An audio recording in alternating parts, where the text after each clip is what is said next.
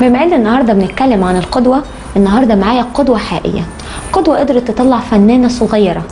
وزي ما بيقولوا ابن الوز عوام.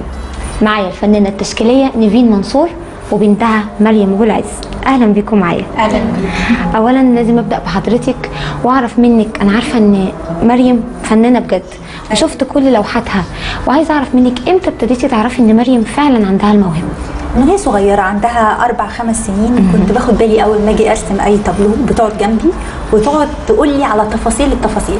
لا دي عايزة تتظبط دي عايزة تتعدل. اللون ده مش عاجبني. حطي هنا اعملي هنا.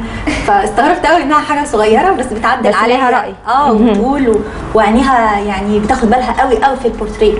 يعني لو غلطتي غلطة في البورتريه أو مثلا عين طلعت أقل من عين سنة وبتاع تقول لك لا دي مش مظبوطة زاوية الضوء هنا مش مظبوطة. فخدت بالي إن في حاجة صغيرة كده. أنا شايفاها بتضحك. آه بتقول رأيها. لقيت حاجة صغيرة خالص بتقعد تقول لي رأيها في كل كبيرة وصغيرة ويعني كأنها عايشة معايا في اللوحة. من هنا بقى بدأت أخد بالي لا إن عينيها لماح لأن الرسم عين قبل ما يكون إيد الرسم العين العين هي اللي بتكون متدربة. اللي تقدر تلقط كل صغيرة وكبيرة وتعرف الديفوهات بتيجي منين. فبس من ساعتها بقى وإحنا ماشيين خطوة بخطوة مع بعض بترسم سكتشات بترسم طابلوهات أنا كمان برسم آه، فساتين. عندي مصممة أزياء جميل. فبرسم فساتين آه، free hand. فكانت بتيجي تقف معايا وتقول لي أنا عايزة أشتغل كده أنا عايزة أعمل الكلام ده. فقلت لها خلاص إن شاء الله وعد مني إن قريب جدا هطلعك في عرض أزياء معايا عاملة بانشور على فستان كامل بشغلها وتطلع هي اللي تعرضه كمان. جميل. طب كلميني بقى عن عرض الأزياء مستعدة ولا؟ إن شاء الله. يعني جاهزة وناوية بقى تبدعي فيه زي ما ماما بتعمل؟ يا ريت. طب إيه أكتر رسمة بقى بتحبيها رسمتيها ومعجبة بيها قوي؟ لا ما في كتير يعني مش معجبة بيهم يعني عادي كشكل وفي ناس قالت لي إن هم حلوين كده بس يعني. طب أنا شايفاكوا بقى لابسين لبس كروي شوية. بتحبي الكورة؟ آه قوي. مين أكتر حد بتحبيه في الكورة؟ محمد صلاح. بترسمي محمد صلاح؟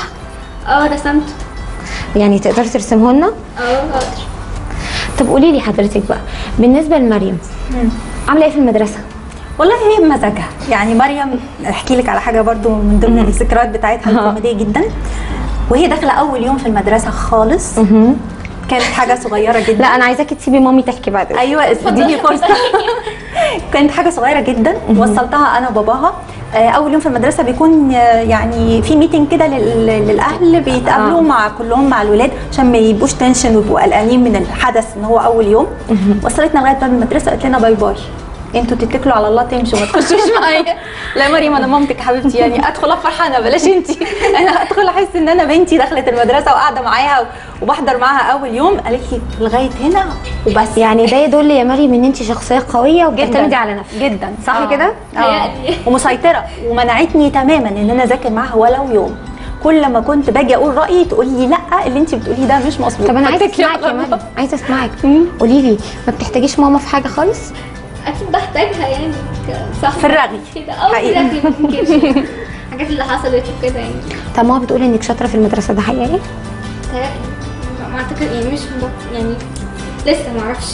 ما تعرفيش إنت شاطرة ولا لأ؟ لا ما أعرفش. بصي هي مش مسألة شطارة هي مسألة إنها ذكية جدا بس تحب تكبر دماغها قوي. آه بالظبط. بالظبط. الحاجة اللي تعجبها تذاكرها الحاجة اللي, اللي عايزة مثلا تأجلها تأجلها زي ما هي عايزة. طب قولي لي يا مريم دلوقتي لكل أصحابك اللي بيتفرجوا علينا. تنصحيهم بإيه؟ لما تعرفي إن حد من زمايلك عنده موهبة معينة تقولي له إزاي ينميها. لو مش كل مش كل اللي عندهم موهبة مامتهم بتبقى كده. صح؟ انت بس حالة استثنائية فماما ساعدتك ودعمتك. طب اللي عنده موهبة ومامته مش مش رسامة تقولي له إيه؟ يعني يمرنوا نفسهم ويقعدوا يرسموا ويعرفوا حاجات أكتر عن الفن يعني والرسم وكده.